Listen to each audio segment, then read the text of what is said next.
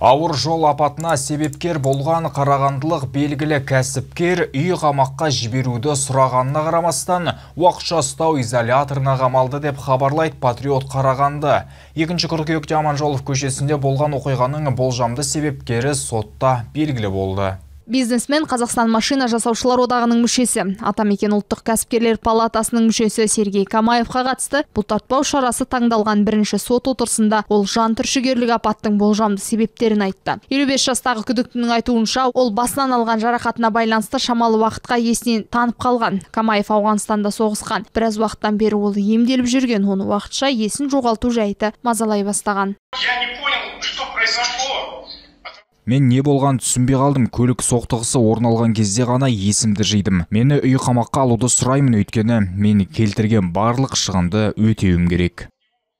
жәбірленушілердің адвокаты лексус жүргізушісі басынан жарақат алғанын және соған байланысты проблемалары бар екенін біле тұра рөлге отыруға рұқсат бергеніне ашуланды Непонятно, как ему вообще были выданы водительские.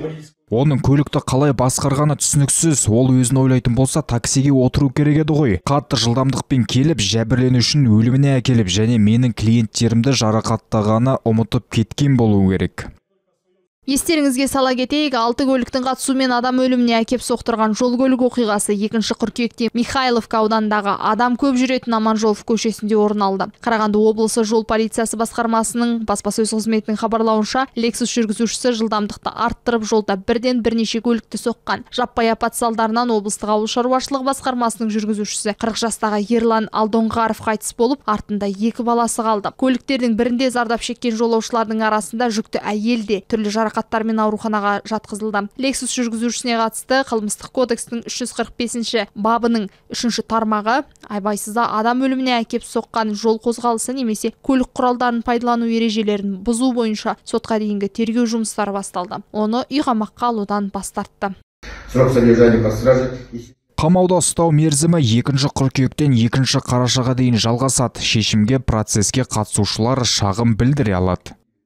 Сергей Камаев тергеу басталған қылмыстық бап бойынша 5 жылға дейін бас бостандығынан айырылуы мүмкін.